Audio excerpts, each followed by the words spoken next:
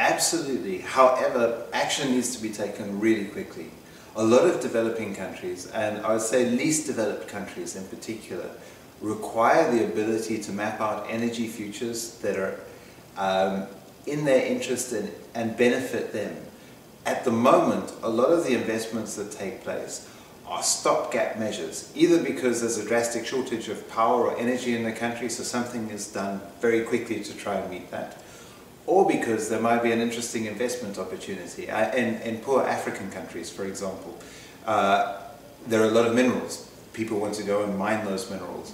And so in order to provide that electricity, uh, the company doing the mining will, will make some kind of plan to get an electricity system up and running, but just for the mining. And in both cases, this might not be in the country's long-term interest. The countries are growing. Energy investments typically last for uh, over 20 years, 20 to 50 years. So it's essential now, and there's a big opportunity now to make uh, investments that are clean and environmentally uh, compliant, efficient, but uh, make economic sense as well.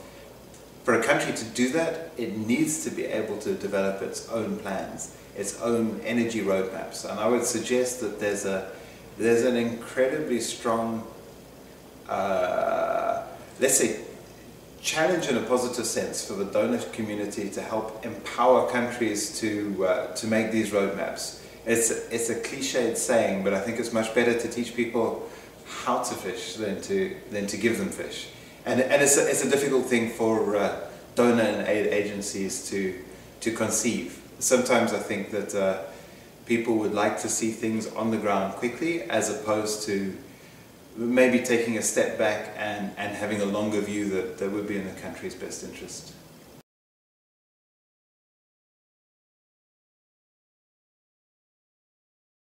Around 2 million people die every year because they have access to or use energy in a way that's, uh, that's detrimental to their health. And I'd just like to, to bring this into context of a lot of developed country policymakers right now. If in the developed world we thought that in five years' time, because of climate change, two million people in uh, the developed world were going to die every year. This would make us move to action so quickly. It would be incredible. The bailing out the banks, which doesn't cost very much, it would cost a lot more money in, in, in relation, would just be, be seen as um, a small fry in order to deal with this big problem. Okay, but the reality is, is that this problem exists, and it exists in a part of the world where sometimes folk don't want to get uh, as involved, but you know, these are this this we're one global race, and I think it's really important that we address the needs of the vulnerable.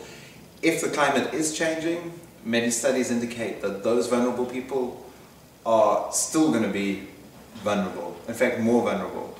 And so, the sooner we do something about their plight, uh, the better.